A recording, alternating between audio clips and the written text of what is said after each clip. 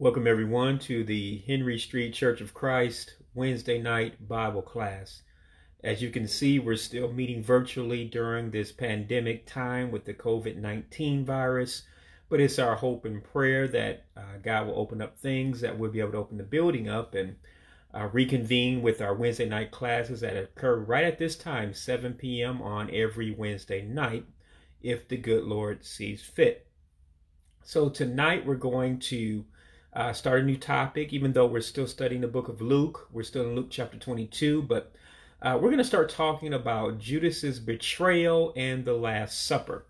Uh, I know that because of the details involved in teaching on the Last Supper, that we won't get to all of that tonight. And so we may have to break this up over two or three nights. Um, I've been feeling really blessed in uh, studying this topic, even though I've studied these topics in the past over the last 20 years, probably more times than I can count. Um, every time I touch the Word of God, I learn something different. And so, as we always talk about at Henry Street, we're going to take Bible study to an adult level. So, we're going to go beyond just the surface level, the elementary things, as the Bible would say, the rudimentary teaching on these things. We're going to dig deep and of course, we're not just learning these things for academic reasons, we're learning them to increase our faith, increase our commitment, and just become better Christians as far as our obedience all around, that we're more and more like Christ at all times. So, again, we encourage you to come by and visit us, but also continue to share with us at the Henry Street Church of Christ here virtually. Uh, we meet at 309 Henry Street in the city of Gadsden, Alabama, 35901 is our zip code, but you can also reach us at www.henrystreetchurchofchrist.com um, as well if you want to see some of the online things that we have and uh, go over to our YouTube video channel, all those type of things. Anything to help and promote the name of Christ in this earth and to show love unto you, uh, we make these resources available. Uh, so let's go ahead and get into our studies. Uh, again, we're going to start with Judas's betrayal. And of course, we know he was one of the original 12 apostles. We're going to look at him a little bit deeper than we typically do, some portions of his life and um, why he was disapproved and why God was so displeased with Judas. Um, and it's not just the betrayal that he was uh, displeased with. There's other aspects of his character, as you like to say, that were just shady. In other words, underhanded even when he walked with Jesus. But nonetheless, let's not get ahead of ourselves and look at Luke chapter 22, verse 1 to verse number 6, which I'm going to read out of the King James Version of the Bible. And as always, I encourage you to read along with me on the screen or in your paper Bible, whichever you prefer. Uh, it's easier to digest and take in the Word of God when we read it ourselves. Let's look at it for a moment. Luke chapter 22, verse 1 and verse 6 and verse 1 and 2 are on your screen right now. And it says, Now the feast of unleavened bread drew nigh, which is called the Passover. And the chief priests and scribes sought how they might kill him, for they feared the people. So again, they're trying to kill Jesus. All right, let's look at Luke chapter 22, verse 3 and verse number 4. Again, we're going to stop at verse 6 and discuss it and then go on to other scriptures, the Lord wills. All right, verse 3 and verse 4 of Luke 22 says, then entered Satan into Judas, surnamed Iscariot, being of the number of the twelve. And he went his way and communed with the chief priests and captains, how he might betray him unto them. And it says in Luke chapter 22, verse 5 and verse number 6 And they were glad and coveted to give him money. And he promised and sought opportunity to betray him unto them in the absence of the multitude. All right, let's look at this for a moment and look at it from a context portion that because your context is going to make a big difference in understanding what the scriptures are trying to communicate to our hearts here today. All right, so one of the main things, going back to verse 1 of Luke chapter 22, that Jesus mentioned, he said, The feast of unleavened bread was near. Now, the Feast of Unleavened Bread, let's get the history on that because it makes a difference. On the Jewish calendar, in the Bible, it was the 15th to the 21st of the month Abib. Now, that's the Jewish calendar, month of Abib.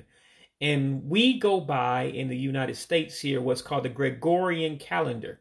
In other words, our everyday calendar. That would translate to about March or April of every year, is that when that would actually occur. Now, the Feast of Unleavened Bread was used to remember the hurry that the children of Israel had to use when they had to leave Egypt in the time of Moses. In other words, in the time of their deliverance, they had to be ready. And so they could not wait for any bread to bake. So that's why they didn't put yeast in it, which is leaven. Leaven is another name for yeast because you would have to wait on it. So they had to make bread without it in order to carry with them and eat, you know, along the way. In the other part of unleavened bread uh, ceremony, in the days of Jesus in the Old Testament days as well, all yeast had to be removed from the home, not just from the bread, but it couldn't even be in the home at all before the festival came, and it could not be used in bread, as you know. The other stipulation, the other regulation got put on them in those time frame was that they could not do any type of work except for preparing food.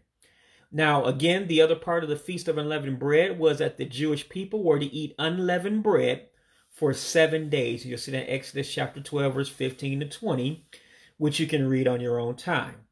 And again, all of this was done, the unleavened bread during the time of the Exodus, meaning Moses and the children of Israel being delivered from Egypt, was to make sure that they never forgot that God had delivered them from Egyptian slavery. So God wanted to make sure once a year that at least they would remember the deliverance, the power of God, the compassion of God shine upon them uh, in the Feast of Unleavened Bread. So there was a reason for that being a Jewish holiday uh, in the time of Jesus Christ.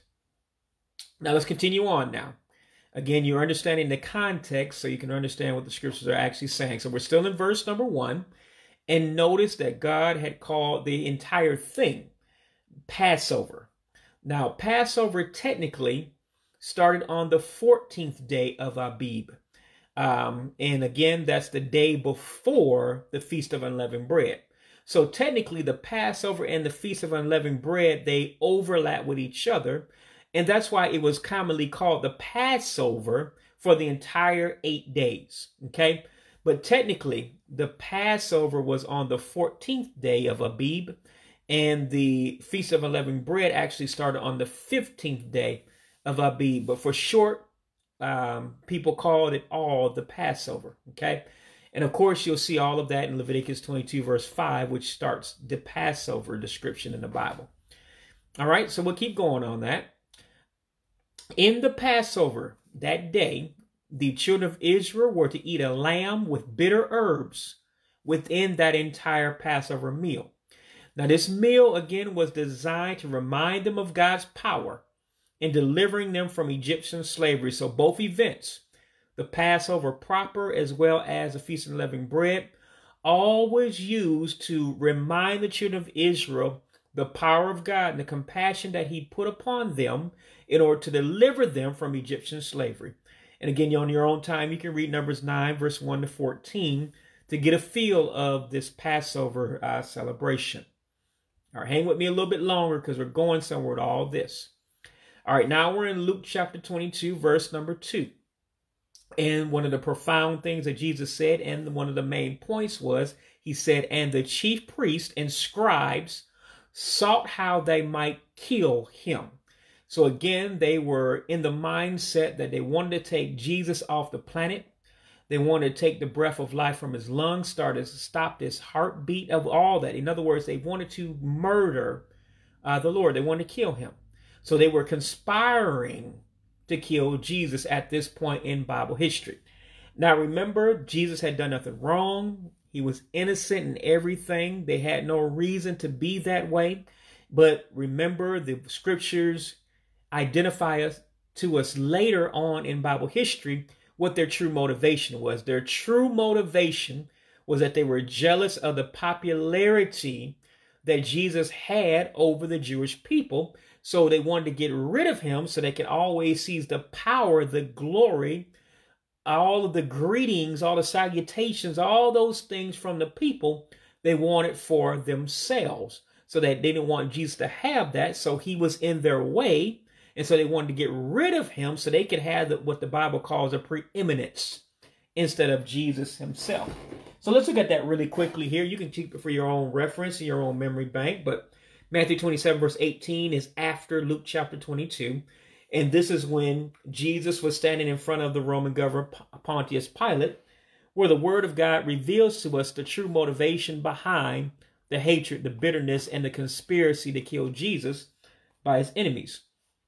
So I encourage you to turn there for a moment, but keep your bookmark at Luke chapter 22 because again, that's going to be our main emphasis today to keep studying Luke 22. But we're going to take this short detour uh, to show you this motivation of Jesus' enemies, which is in Matthew 27, verse number 18. And again, I'm going to be reading when I read out of my paper Bible out of the King James Version of the Bible. And it says, now this is Pilate that God is talking about, the Roman governor. It says, For he knew that for envy they had delivered him. In other words, he knew the reason that they had brought Jesus to be crucified was because they were jealous of him. So again, these in this specific uh, Luke chapter 22, the chief priests and the scribes, the Jewish leadership at the time, they could not stand to see Jesus prayed and followed, praised that is, and followed by the Jewish people. They couldn't stand to see people praise Jesus and follow him again because they wanted that for themselves. So they wanted to get rid of him in order to remain in control of the people. Now let's continue on. Now let's talk about the chief priests, because again, this is part of your understanding, my understanding as well. Uh, the characters, their motivations, so you understand the scriptures themselves. Now, the chief priests again are mentioned in Luke chapter 22, verse number 2. Uh, their role was this they were in charge of the worship at the Jewish temple in Jerusalem at the time when the temple stood. They were supposed to be experts in the interpretation of the scriptures. And I lose, use that word lightly, loosely, supposedly experts, because yes, they were well studied, but they did not interpret things correctly.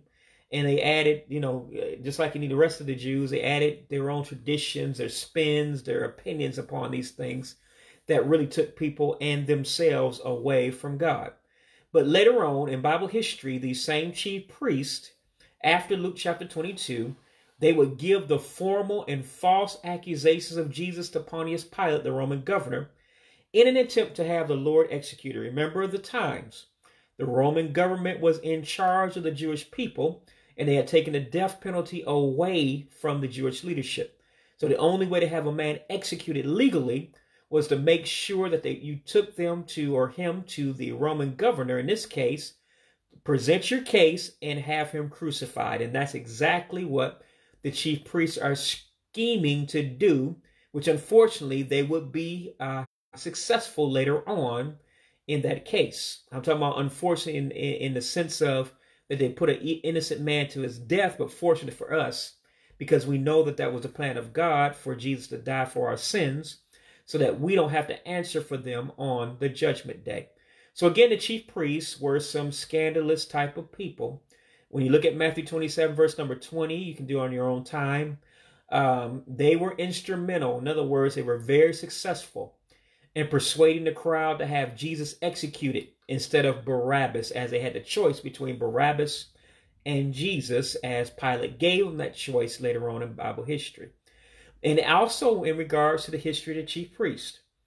After the death, the burial, resurrection, and ascension into heaven of the Lord Jesus, they unsuccessfully tried to stop the apostles uh, through imprisonment, threatenings, beatings, and intimidation to stop them from preaching salvation in Jesus. So obviously, then, before the cross of Calvary, these chief priests were some scandalous, cold hearted, rebellious, ungodly people. And they remained that way even after the death of Jesus Christ in trying to stop what they would consider his movements in converting people to Christianity for the salvation of their and my soul, your soul as well. All right, so let's continue on. Again, uh, the scribes are mentioned. If you remember from previous lessons, we talked about the scribes already, but let me quickly review so we're not off chart or we remember who they were. In Luke chapter 22, verse 2, they're also mentioned. Now, again, they, just like the chief priests, were the enemies of the Lord. They too were supposed to be experts in the Old Testament Bible, which was the Bible that was out at the time. Remember, the New Testament had not been written yet. It was not written until after Jesus died on the cross of Calvary, which we're before that right now, Luke 22. Uh, the scribes also were the teachers of the Old Testament law of Moses to the people. And of course, as I mentioned, they were allies to the Pharisees, which means they were enemies of Jesus. Uh, again, their religious beliefs is that they believed in angels and they believed in the resurrection of the body, which was correct. Uh, but again, they had issues because they added the, the traditions of the elders to the teachings of God's word, which was sinful because, again, as we studied on another occasion, we cannot add to or subtract from the word of God. We have to study the word of God, absorb it, believe it, obey it, and leave it alone not add one letter, not add one word, nor take away a letter or a word from it. Um, otherwise, we will suffer on the judgment day, and that will be eternally. But obviously, these scribes, these uh, Pharisees, these uh, chief priests, they weren't scared of that. And so they obviously did a whole lot of that. And unfortunately, they're going to meet their maker at the end of time, and that's not going to be pretty when all is said and done. That's going to be a great time of suffering for them for adding the traditions of the elders. The Bible itself isn't tampered with. I'm not saying that. But they also had the Talmud, which was an additional book, which was all their traditions that they put on the same level as the Bible itself, when in fact the Talmud is nothing but a commentary passed down for generations that they made holy that really wasn't God's word. And so the scribes were guilty of that. And that book still exists to this very day. All right, let's continue on then going to Luke 22, verse number 3, the Bible says, and Jesus uh, mentioned this as well, uh, he said, Then entered Satan into Judas. Now remember, Judas was one of the original 12 apostles.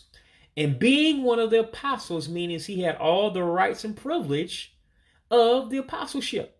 This means that just like the rest, the other 11 apostles, he had the privilege, the awesome ability to literally eat with Jesus.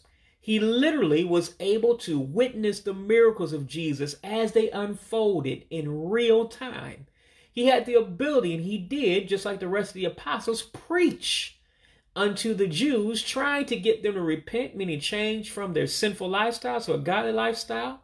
Because, as Jesus was saying, the kingdom of heaven was near or, or, or just about to come into existence, and he had to prepare their hearts in order to enter it. So he had a part in that ministry. He had a part like the rest of the apostles to cast out demons, and anything else the apostles did, he did too. God did not deny him uh, any of the rights and privileges, the powers, the miracles, any of those things of the other apostles. He was able to do all those things, which again, you can go back and verify on your own time in Acts chapter number 1, verse 15 to verse number 26. But unfortunately, the problem with Judas was that his fatal flaw is what we, we like to call it, his spiritual issue was that he was money hungry, as he would often steal from the treasury. Uh, and this is before uh, he sold Jesus out to the Jewish leadership. He was already already stealing from the apostles and Jesus, as he was a treasurer, but he was a dishonest treasurer. And not only was he doing these uh, ridiculous and evil things, but he became a traitor to the Lord for 30 pieces of silver, as you can see in Luke 22, verse 5, verse 6, and Matthew chapter 26, verse 14 to verse number 16. So his whole lifestyle was just foul, just was, was an ugly lifestyle spiritually, um, even when he walked with the Lord Jesus, literally. Remember, he had the problem of the love of money, and as the Bible tells us in 1 Timothy 6, verse number 10, the love of money is the root of all evil. That's why Satan could enter his heart and why it was so easy for him to become the traitor uh, over all other apostles that are mentioned in the Bible. Let's look at that for a moment because 1 Timothy 6, verse number 10 is also directed at us to avoid. I know you're very familiar with it, but I want to emphasize, emphasize this, of course, because it was part of Judas's character, unfortunately, and we can be the same way if we're not careful. All right, First Timothy, chapter six, verse number ten. Let me uh, turn there, and I encourage you to turn there with me. And again, keep your bookmark at Luke chapter number 22 as well, as we're going to return there periodically and throughout uh, this message. Our First Timothy chapter 6, verse number 10 reads as follows For the love of money is the root of all evil, meaning it's the cause of it, which while some coveted after, in other words, some people chase it greedily, they have erred from the faith. That means they have walked away from their true faith in Jesus Christ because now money has become their God, in so many words.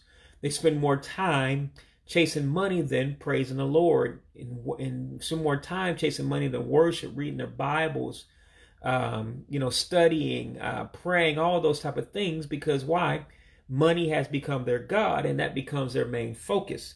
God is saying, don't allow that to be your case. You know, don't allow that to be a part of your lifestyle because there's consequences for that. He says again, let me re- reread it. It says, For the love of money is the root of all evil, which while some coveted after, they have erred from the faith. And what have they done? It says, and pierced themselves through with many sorrows. So, in other words, you find out at the end of the day, no matter how much money you accumulate in your bank account, that you can't take it with you. Um, you, you many times, especially us as men, we neglect our wives, so we miss out on you know the joy and bliss of marriage. Uh, we miss out on our children growing up in front of our eyes and growing up too fast, and you can't redeem those times. All of those types of things um, are part of the sorrows we inherit when money becomes our God. We're so focused on it that we forget everything else, God and family uh, included, and we actually regret that at the end of the day. And so God is saying, don't put your mind that in that capacity, because that is you're going to pay for that in this life and the one to come. Now let's move back on to track and talk about Judas some more. Now, what this is saying is, is that Judas was not possessed by Satan literally. There's a reason why you got to understand that Satan just didn't take him over. And Satan can't take you over. He can only be let into your heart. Okay? Because the Bible tells us that actually, uh, when you look at Acts chapter 1, verse 25, that Judas decided to follow Satan. That's what it means to have transgression. Transgression means you have yielded to, you have obeyed the temptations Satan put out there uh, for you. Kind of like he put some bait out on a hook and you're going fishing and you bit the bait and he reeled you in. That's what it means to uh, let Satan enter into your heart. It means that you are consenting to do his will, which is nothing but sin, or also known as transgression. Let's look at Acts chapter 1, verse 25. This shows us that all along Judas had free will. He had the ability to tell Satan, No, I'm not going to sell Jesus out. And he had the ability to tell Satan, Yes, I will. So he made that decision on his own. And when he made a decision to say, I'm going to betray Jesus, that's when Satan entered his heart and took over and became his God. Okay? All right, let's get to Acts chapter 1, verse 25, and I'll show this makes a difference because there's some false doctrine, some false that that Judas was saved. There's no way in the world that Judas was saved because people what they're teaching today is once saved always saved, meaning that you can live any type of way you want to and expect heaven to be your home. God says that that, that is not true. Man teaches that, but not God. This is why Jesus says that if any man follow me, let him deny himself, pick up his cross, and follow me. If any man be my disciple, let me say correctly let him pick up his cross. Uh, let him deny himself, that is, pick up his cross and follow me. In other words, it's talking about the true lifestyle that we have to live. We can't live any old type of way. We have to live in conformity to what Jesus teaches us. All right, let's look at Acts chapter 1, verse 25. Let me get there really quickly here because I know time will get us if I don't keep going here. All right, Acts chapter 1, verse 25. Almost there and we'll read it together if you will. All right, Acts chapter 1, verse 25. And this is in, in Judas is the subject of our conversation in Luke chapter 1, 25. It says that he may take part of this ministry and apostleship from which Judas by what? By transgression fell. that he might go to his own place. That's a very profound thing. Remember the context of Acts chapter 1 is that Judas had already died. He had already committed suicide because all the guilt he uh, accumulated from betraying Jesus. So he went and hung himself. Now the church is down to 11 apostles, but God wanted 12. And so they're going through the procedure, if you will, of picking the 12th apostle, which means to replace Judas, who had already died at this point. But it told us what was wrong with Judas. It said that he fell by transgression. That means he chose to sin. And that's what made him fall in God's eyes. Okay? And then the Bible says that he might go to his own place. Well, that's easy to figure out what his own place was because that means that the apostles were on their way to heaven. But Ju- uh, Judas went to his own place, which means a different place than them. That means he was going to be hell, bound. Okay. So Judas is one of the first people, one of the few people in the Bible that God actually talks about going to hell. Uh, you rarely see God talk that way um, about people as an individual throughout the Bible, but Judas was marked, and he's he was marked for hell a long time ago because of the choice that he had made being covetous, meaning greedy for money, and selling out Jesus. All right. So again, Judas had free will like everybody else. Again, he was not saved as some falsely teach today, because again, the Bible tells us he went to his own place, which means spiritually, after he committed suicide, which is a reference to hell. He's also called, look at John chapter 17, verse number 12. I call this uh, Jesus' unity prayer. This was one of Jesus' last prayers before he uh, went to the cross of Calvary when he was talking to the Lord.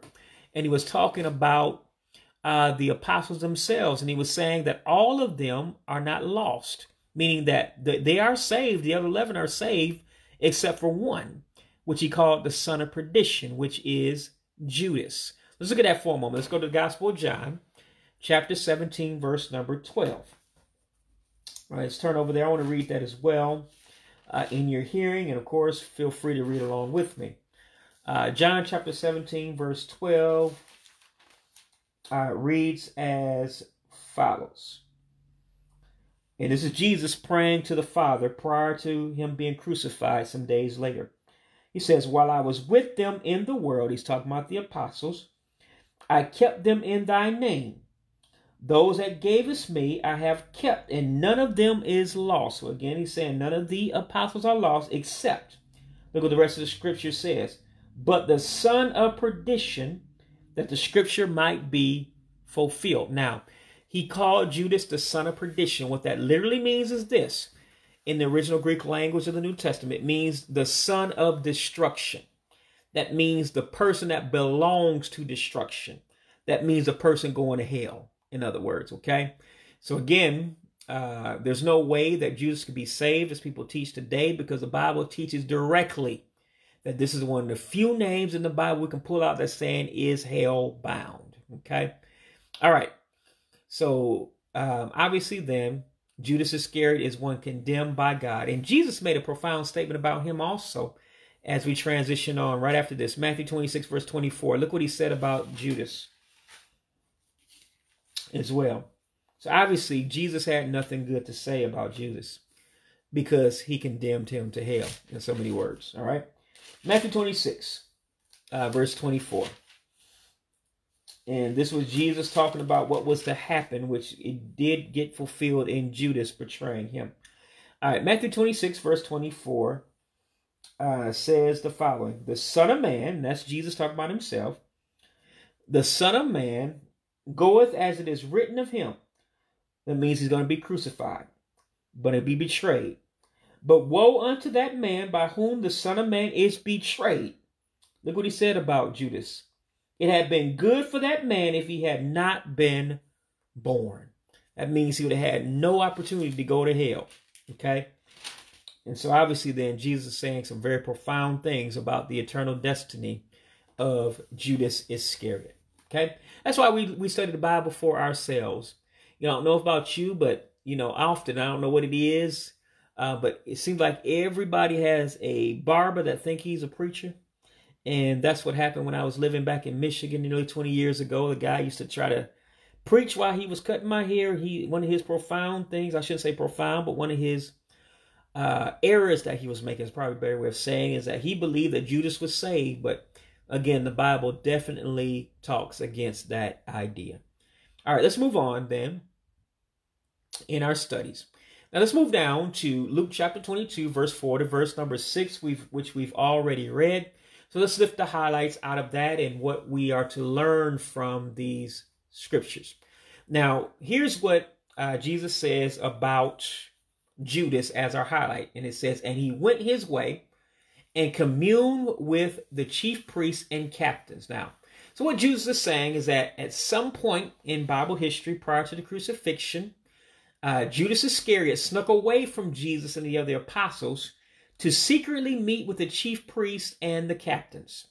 Now, this resulted in this group of people, the Jewish leadership, along with um, Judas Iscariot, uh, to become a spy and to set the Lord up to be captured by the Jewish leadership out of the sight of the people. In other words, they were trying to get him alone, away from the crowd, so that they can arrest him and eventually take him to Pilate for crucifixion.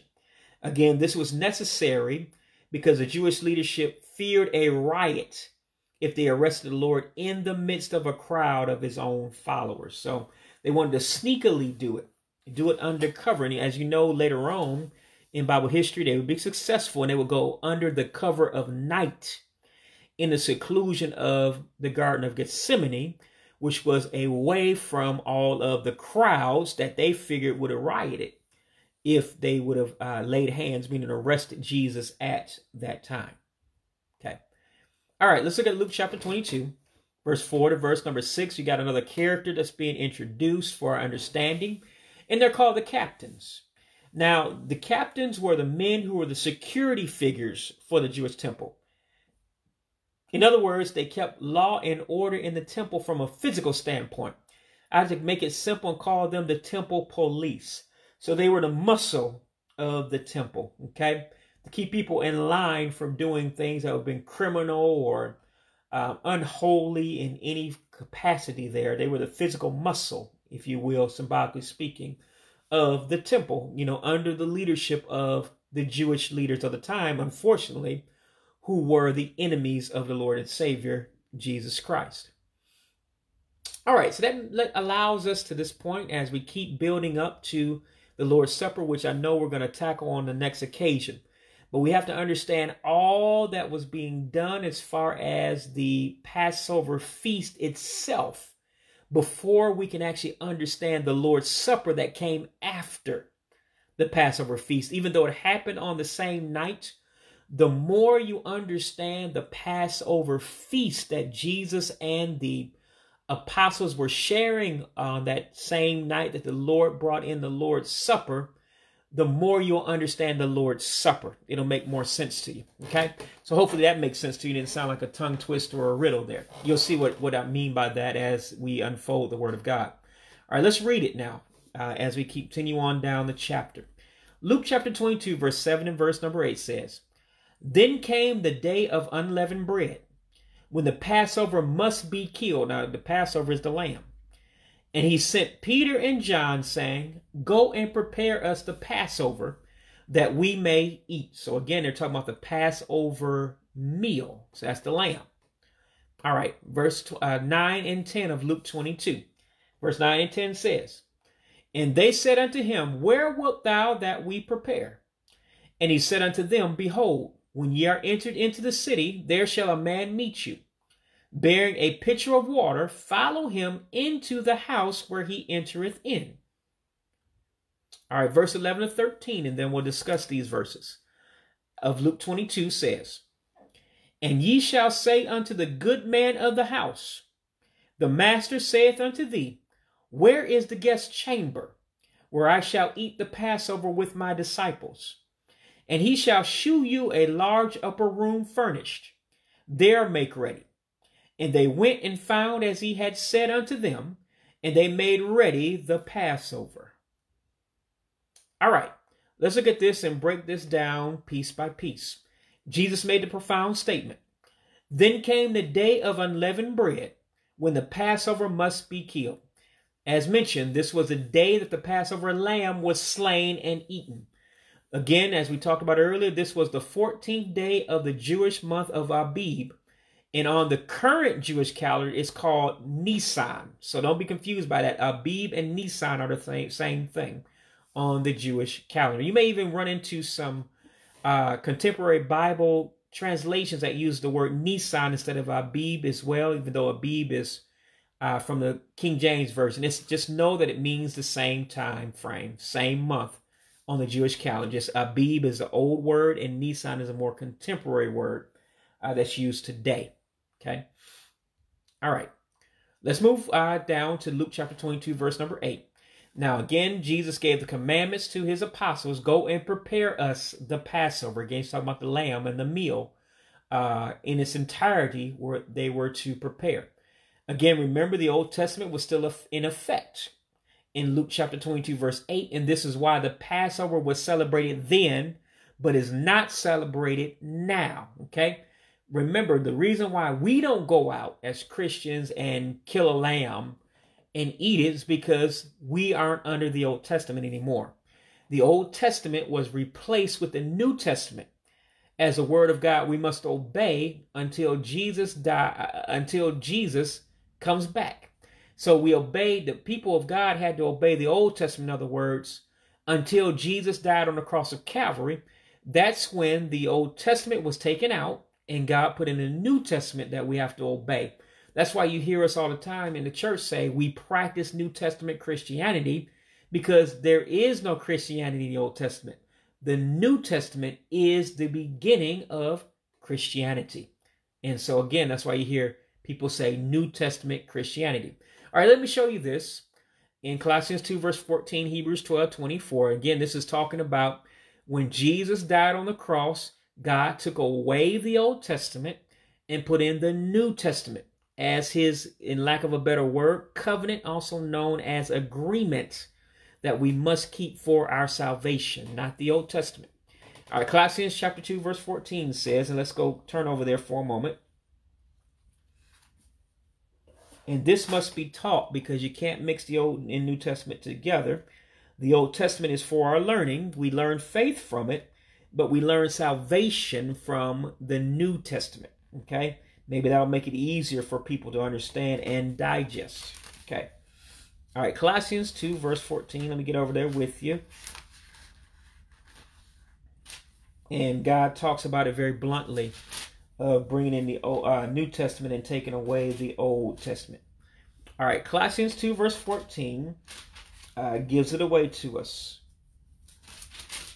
And it reads, blotting out the handwriting of ordinances that was against us is, almost like saying erasing the handwriting of ordinances that was against us. Ordinances means the rules, the law, which is another word for the Old Testament. Okay. And it says in verse 14, which was contrary to us, the Old Testament was contrary to us because it actually worked against us. Uh, it always convicted us of sin, but it had no way of saving us in the Old Testament. Salvation didn't come until the New Testament when Jesus died on the cross of Calvary. And God says, and, and again in verse 14, and took it out of the way, nailing it to his cross. So God is looking at it this way.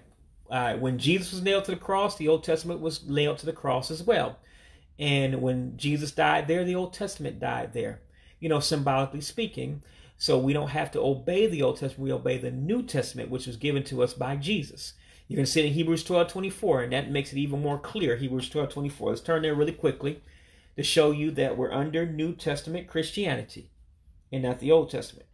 If you want to be pleasing to God and see heaven, that is. All right, Hebrews 12, verse 24, and it says, And to Jesus, the mediator of the new covenant, that's another way of saying the New Testament, covenant and testament are the same thing. And to Jesus, the mediator means the giver, the one that took it from the Father and gave it to man and to Jesus, the mediator of the new covenant, and to the blood of sprinkling that speaketh better things than that of Abel. Talking about the blood of Christ, how it saves us. It it it is used as God's agent to forgive us of our sins. Unlike Abel's blood that called for an eye for an eye, basically called for punishment upon Cain. That's the difference between Jesus' blood and Abel's blood being spilled, who was killed by his brother Cain. Okay, that's what that scripture is talking about. And now again, the other reason why we're not uh, taking a physical lamb today is that when Jesus was given as the world's Passover lamb, in other words, he was the last Passover lamb given and the only one that satisfied God when all is said and done. So when Jesus was given as the world's Passover lamb, when he died on the cross of Calvary, there was no longer a need to offer any other lambs like the Old Testament Jewish people did every year. Okay, let's look at that for a moment. In Hebrews chapter 10, verse 12, talks about the completion or the finality of Jesus being God the Father's Passover lamb for us, so that the wrath of God on the judgment day passes over all faithful Christians. In other words, the wrath would not touch us, but instead salvation and eternal life will be ours instead on the judgment day to come, which is the second coming. Look at Hebrews 10, verse 12. So let's turn over just a couple chapters, and you'll see that for yourself. All right, Hebrews chapter 10, verse 12 says, But this man, and Jesus is our subject, but this man, after he had offered one sacrifice for sins forever, notice what it says. When he died on the cross of Calvary, that was one sacrifice, and it was done for the sins of us forever. So no other lamb needs to be, be given because he is the lamb. He is the perfect lamb. He's the one that God the Father gave himself for our salvation. So that's talking about finality. No more offerings of lambs because the real lamb, Jesus, was given nearly 2,000 years ago. Let me read it one more time, make sure we don't miss a part of it. He says, But this man, after he had offered one sacrifices for sins forever, sat down. Remember, sat down means to go to rest. You know, he's no longer working. His work has already been done when he died on the cross of Calvary. Finality. Again, he sat down on the right hand of God. So he's in heaven right now, seated right next to the Father God until all his enemies be made his footstool, as we had talked about uh, in the past. Again, the finality of Jesus being our Passover lamb and the final Passover lamb is because Jesus' death was completely satisfactory to God the Father for the sins of all faithful Christians. And again, he only had to do it one time. That's why Jesus doesn't have to be crucified every year, like lambs had to be killed every year in the Passover. Okay? All right, let's get First John, and that, that tells you about the finality of Jesus' sacrifice of himself. First John, near the end of the um, the Bible, First John chapter 2, verse 2 talks about that. All right. And Jesus is our subject. It says in First John chapter 2, verse number 2. And he is a propitiation for our sins and not for our sins only, but also for the sins of the whole world. Propitiation is your key word there. It means a sacrifice that brings peace with God. Another word that you'll use that means the same thing as propitiation is atonement. He is the atoning sacrifice, he who brought peace between us and God for all those that are faithful Christians. Okay? All right, let's continue move on because this is getting deep. I understand that it is, but it's under it's necessary for us to understand the Passover meal that he's he's he's, he's engaging in with his uh, apostles, and then the Lord's Supper later on after this Passover meal. All right, so now where we're at is still in Luke chapter 22, verse 9 to verse number 13. And Jesus, uh, excuse me, not Jesus, but the apostles asked, "Where wilt thou that we prepare?" In other words, what are we gonna? Where are we gonna go in order to stage this meal so everybody can partake of it? Now, again, Peter and John were designated to prepare the Passover meal. Again, they were asking where they were to gather to eat it together.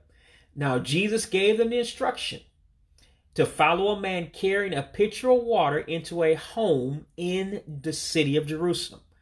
From there, they were to inquire, they were to ask into where the guest room was so the Lord and his disciples could eat the meal there. Okay? That's what the guest chamber is when the King James Version uses those words. Now, they were to be taken to an upper room in this, this house to be revealed to them where they could prepare the meal. Now, of course, we know Jesus is divine, he knows all things, And so he was foretelling the future when he told them these things, these commandments. So obviously, then they have no choice but to come true because he is divine. So all the events that Jesus talked about happened as he said, and the apostles prepared the meal as they were instructed.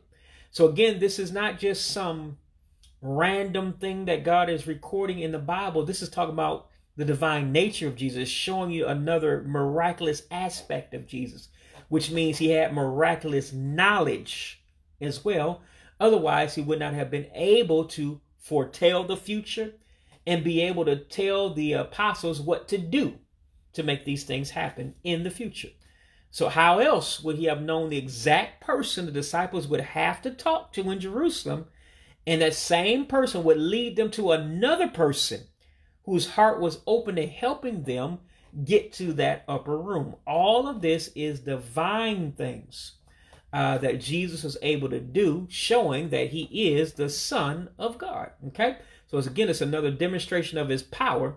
If he can do something like this, I know he has the power to save us and do whatever he promises in the Bible. So this is just another indication of Jesus is who he is, the Son of God, the Lord and Savior. Okay, let's move on as time is getting away from us. Look at Luke chapter 22, verse 14 and 16. Let's read this for a moment. It says, And when the hour was come, he sat down and the twelve apostles with him and he said unto them, With desire I have desired to eat this Passover with you before I suffer. For I say unto you, I will not any more eat thereof until it be fulfilled in the kingdom of God. Now, these words, Luke chapter 22, verse 14 to 16, these are introductory words before the Lord's Supper is actually instituted. In other words, right now the Lord's Supper does still does not exist because Jesus has not commanded it yet. Okay? All right, let's look at this for a moment because this is profound. This key to understanding the Lord's Supper, even though he's not talking about the Lord's Supper yet. Now, look what he says in Luke chapter 22, verse 14 to 16. Remember, they're celebrating the Passover feast right now. They're not into the Lord's Supper yet. Okay? He said, With desire, I have desired to eat this Passover with you before I suffer. In other words, he's saying this, this is the last Passover meal I'm going to have with you before basically he's going to suffer and literally die. That's implying dying for us on the cross of Calvary. So again, we're before the cross. Now, what this is saying, Luke chapter 22, verse 14 and 16, it was now time to eat the Passover lamb. And what Jesus was saying is, is that he strongly desired to eat this Passover with the disciples, also known as the apostles, before he was to suffer for our sins soon thereafter. He would have been craving their fellowship, as we all should. Remember, the church is to always engage in fellowship with other Christians. You'll see that in Acts chapter 2, verse 42. Even Jesus engaged in fellowship, meaning spending time with other Christians, uh, so we can encourage each other, so we can have true friendship, so we can keep each other on track, you know, spiritually, so we can, you know, just do everything that a true bond uh, can be formed between all of us as God wants. Remember, God wants the church to become a community, a family of God's children, and you cannot do that if you never engage other Christians, which is called fellowship, form those bonds with them. And you you can see on your own time Acts 2 verse 42 where the Bible shows us by example that the first century church stayed steadfastly in the King James version. That means they would never let their fellowship be broken. They wouldn't let their, their doctrine be corrupted, their teachings be corrupted. They, they did everything together. And that's what God wants us to be close. You know, uh, just just inseparable is probably the best way to say it. So please, if you're not uh, really fellowshipping with others, if you don't have friends in the church, you got to reach out and make yourself available because these are the friendship and the bonds that God wants us to have. Even Jesus demonstrated that as he strongly desired to eat the Passover with his disciples. This is one of the last times on earth that he would get the chance to spend time with them. So he strongly desired to partake of this meal with them. So again, it's Christ like for us to enjoy each other's time and our company. So if we're so eager to get away from other Christians or we just don't want to spend time with us, we got to check our spirit. and make sure we're Christ like because we're definitely not imitating the compassion and the love and the friendship Christ did with uh, those that would become the church later on in Bible history. Okay, as an example to us. All right, Luke chapter 22, verse 14 to 16. Now, this is deep. And as long as I've studied these verses, I really didn't realize what God was saying till today on this. This is how deep this hit me um, as I studied even deeper today, even after decades of studying. Now, look at Luke chapter 22, verse 14 to verse number 16. And it's kind of like we say here in the U.S., I had an aha moment um, today when I was studying this. Jesus said, I will not any more eat thereof until it be fulfilled in the kingdom of God. What Jesus was doing, now remember, the Lord's Supper had not been commanded yet.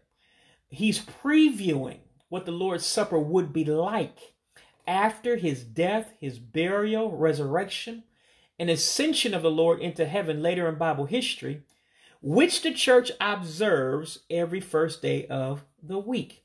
See, basically what he's saying is, is that when we partake of the Lord's Supper, we are eating of the spiritual lamb. Okay, remember, Jesus is our Passover lamb. And so when we take up the Lord's Supper every first day of the week, in other words, every Sunday in the Lord's church, we're partaking of the spiritual Passover lamb, is the way God looks at it.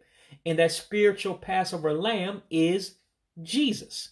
And so there would be no more need after the establishment of the church, which came after Luke chapter 22, um, for us to eat a literal Passover lamb because the Passover lamb was Jesus himself. As we mentioned earlier, he was the last offering, the last Passover lamb, the finality of the whole thing.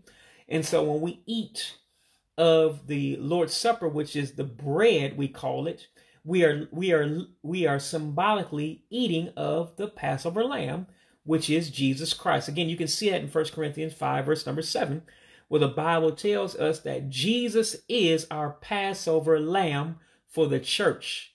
That means you and I today. Okay? All right. Now let's look at Luke chapter 22, verse number 17. This was profound. Um, and it reads, and he took the cup. Now, this is Jesus taking the cup and gave thanks and said, Take this and divide it among yourselves. For I say unto you, I will not drink of the fruit of the vine until the kingdom of God shall come. All right, so he won't drink of it. Now, remember, he's referencing the Lord's Supper. Uh, actually, not in this case. Let me let me get it right. In this case, the cup that he's talking about here is actually the uh, not the cup of the Lord's Supper. Let me get it right. It's actually the Passover cup. So remember this. What are Jesus and his apostles doing right now? They're eating of the literal Passover lamb that was given every year, and they're drinking of the literal cup, which was the fruit of the vine, the wine, the diluted wine of the time that belongs specifically to the Jews' Passover meal. Okay? So again, the cup mentioned in Luke 22 17 is not the Lord's Supper yet. That's not going to come to Luke chapter 22, verse number 20, where he's referencing a different cup. And again, this was an aha moment for me that I never realized that there's two cups being mentioned in Luke chapter 22, verse number 17. And they're mentioned separately for a reason. This is where it's going to get real deep and profound, and we're going to end right here. So again, and he took the cup and gave thanks in Luke 22, verse number 17. Again, this is still part of the Passover meal, the literal meal of that time. Again, it's not a part of the Lord's Supper. This cup was to be taken and given to all the apostles, and they would take the cup and they would pour the wine out of it, the fruit of the vine, into their own cups as part of the Passover meal they were eating at the time. So, but like the literal Passover lamb will be eaten in the church today, the fruit of the vine in the Passover cup will no longer be necessary as a new cup representing Jesus' blood would be used instead. In other words, both, think about now what I'm talking about. They're doing the literal Passover celebration, which involved a literal lamb and a literal cup. Now, within that literal cup, then that they were drinking out of at that time, that they poured into their own, that symbolized the blood of the Lamb. So, what they're doing, literally, right at that moment in the Passover meal, not the Lord's Supper, they're eating of the flesh of the Passover lamb and they're drinking symbolically of the blood of the Passover lamb, literally. Okay? And so now what you're going to see is that now Jesus is going to take of his last Passover because it would be the last Passover from a physical standpoint that the Jews would take as a religious thing for God. Okay, I hope you understand that now. So what God Jesus was doing when he ate uh, when he partook of that last Passover lamb and that last cup within that literal Passover meal that all the Jews had to do, he was putting away that ceremony for the final time. Okay, I hope that makes sense to you. Why would he put away the literal Passover eating of a literal lamb and drinking of the cup which symbolized the lamb's blood? Because he was going to celebrate it in a different way. He was about to institute the Lord's Supper, which was superior. The spiritual ceremony that we do today is superior to the physical ceremony that the Jews were doing at the time. Because think about it this way the literal lamb and the cup they were drinking that the Jews were doing at the time, including Jesus and the uh, apostles prior to the crucifixion, what they were celebrating was God's deliverance of them from Egyptian slavery and giving them the promised land of Canaan. All that stuff was temporal, it was to pass away one day. But what Jesus was doing now when he came into giving us the Lord's Supper, which we'll study on the next occasion, he's allowing us to symbolically eat of himself, him being the Passover lamb, and drink of his blood symbolically in the Lord's Supper, which gives us eternal life and gives us heaven as our home, which is superior to the land of Canaan that the Jews received. Oh, I hope you understand that. So obviously, then you have to understand all these events that's leading up to the Lord's Supper because they make you understand the value of the Lord's Supper and they make you understand the symbols that Jesus is using in the Lord's Supper. Okay? So obviously, then on the next occasion, we're going to talk about the cup we drink of today and the bread we eat today, which is the body and the blood of Jesus Christ symbolically which is superior to everything Jesus and the apostles were doing in Luke chapter 22, leading up to the Lord's Supper. So, hopefully, this has been of value unto you and that you'll be able to share this information with someone else. So, again, I welcome you back to the um, Bible study on next Wednesday at 7 p.m. once again. Uh, we'll broadcast it once again virtually. And we'll literally go over the details of the Lord's Supper itself as we're supposed to take it every Sunday, which is the first day of the week. And now you're understanding why it's so important as we lead up to our real study of the Lord's Supper on the next occasion. And so, again, we encourage you to come out and visit us at 309 Henry Street um, uh, when the pandemic lifts, and we'll be glad to embrace you and see you in the city of Gadsden, Alabama, and show you love from a Christian perspective and uh, partake of the Lord's word with each other and be joyful in the same. May God bless you. Keep us in your prayers, and we'll pray for you as well.